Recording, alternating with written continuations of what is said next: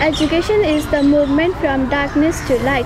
Hello and namaste to you all. My name is Salina Bhatta, contestant number 11. I am from Bhaisepati Lalitpur.